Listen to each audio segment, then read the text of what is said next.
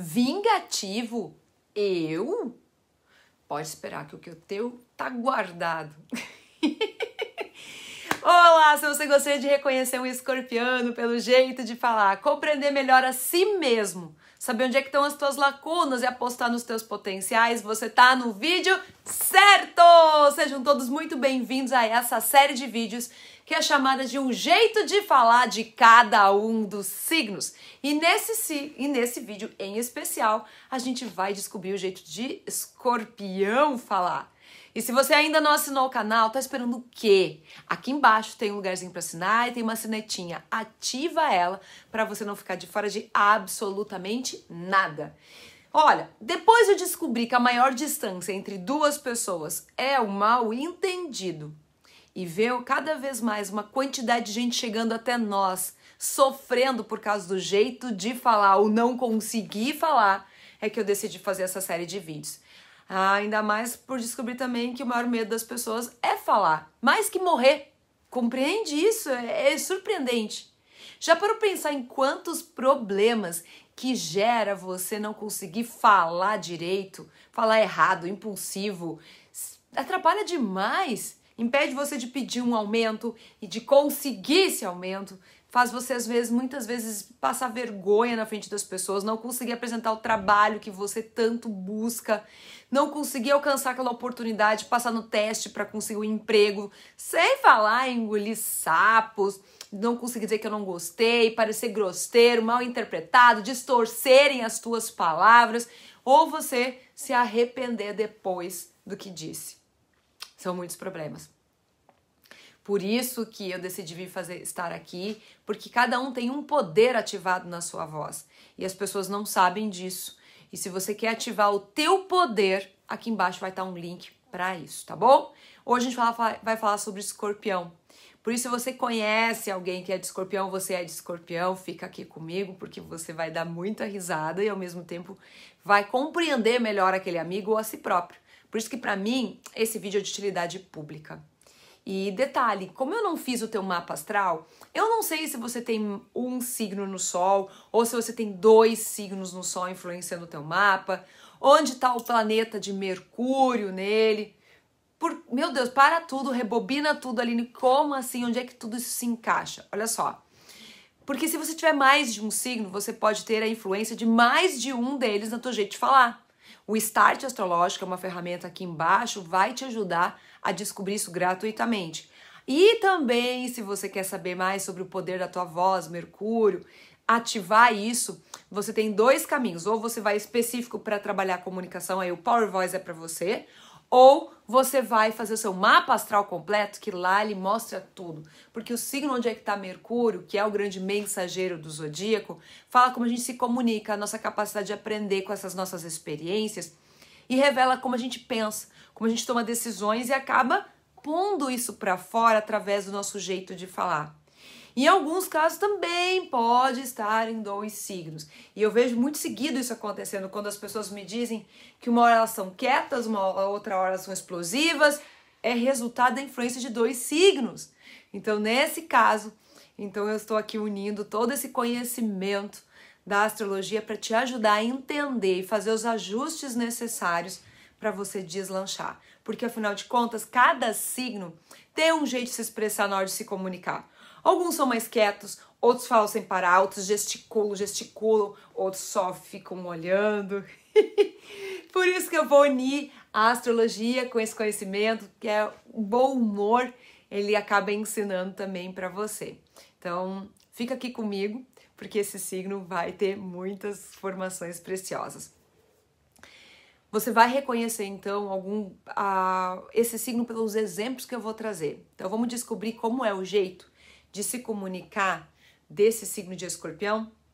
Para a gente falar de escorpião, uma primeira coisa, eu vou trazer palavras-chave dele: transformação, intensidade, maestria, magnetismo, poder, sexualidade, segredos, destruição, mistérios, desconfiado, oculto, autodestrutivo, vingativo, ressentimento.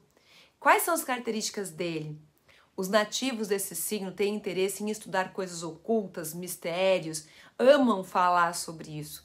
E o esoterismo atrai muito e eles vão além de gostar também de livros de policiais, de mistérios de terror. Ele gosta de ficar num lugar mais sossegado, lendo um livro. Existe uma tendência de explorar e aprender aquilo que está oculto, menos óbvio na vida, então ele vê o que tem por trás. Ele gosta de compartilhar apenas com quem conquistou a confiança dele. Gostam de observar tudo o que acontece com olhos que enxergam no escuro, com uma mente de detetive. Eles gostam muito de intercâmbios, os intercâmbios que acontecem entre as pessoas, porque gostam de observar elas.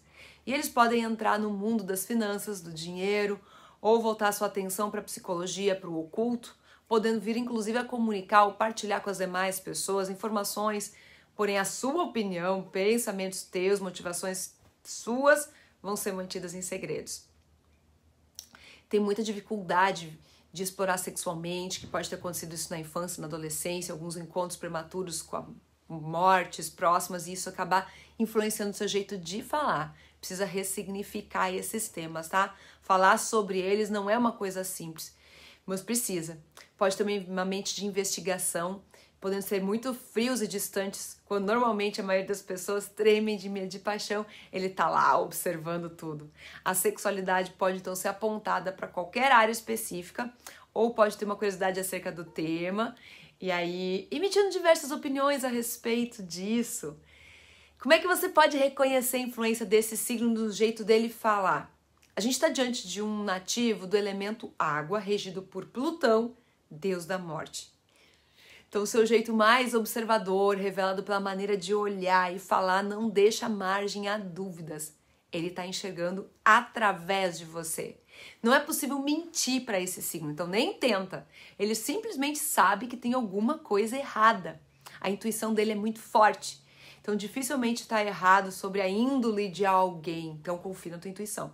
Às vezes, ele próprio não quer acreditar, mas, passado um tempo, algo acontece e confirma a primeira impressão que ele teve de alguém. Esse signo ama compreender o que há por trás de tudo na vida. Seus diálogos, eles tendem a ser profundos, questionadores sobre temas ocultos, pouco falados, cheios de tabus, preconceitos. Falar nem sempre vai ser uma tarefa simples para ele quando ele está num processo de morte e renascimento. Eles tendem a se calar, a se fechar quando alguma coisa acontece e se sentem acuados, atacados, ou pegam alguém mentindo, quando pegam alguém mentindo, traindo na cara dura com eles. E eles podem expressar palavras pessimistas, rancorosas, nada objetivas, enigmáticas, quando estão diante de pessoas que não confiam ou que já fizeram alguma coisa para eles. A sua postura tende a ser radical. Não existe muito meio termo para ele, não. Ou você tá com ele ou você tá contra ele. E eles podem lançar um olhar fulminante que dispensa palavras. Literalmente matar pelo olhar. Quando falar nesses casos, pode ser cínico, ácido e acabar com a pessoa lá do outro lado. Alguns exemplos do jeito que ele fala: sexo, vida após a morte, extraterrestres. Me conta mais, me conta mais. Onde você estava hoje às 14 horas? No shopping? Estranho, você tinha me dito que tinha um horário agendado no médico. Antes que me traiam, eu vou trair. Fulano disse o quê? Ele não perde por esperar, nunca mais vou esquecer disso. Desconfiado eu. Por quê? Mas quem mesmo que te indicou para esse serviço? Dor de cabeça de novo. O que está acontecendo? Você tem outro? O quê? Não, eu não disse nada. E nem precisa, né? Vamos a alguns alertas. Muito cuidado para não se fascinar pelos mistérios do sexo, da morte, querer falar sobre isso. Generalizar fatos isolados e achar que está todo mundo contra você.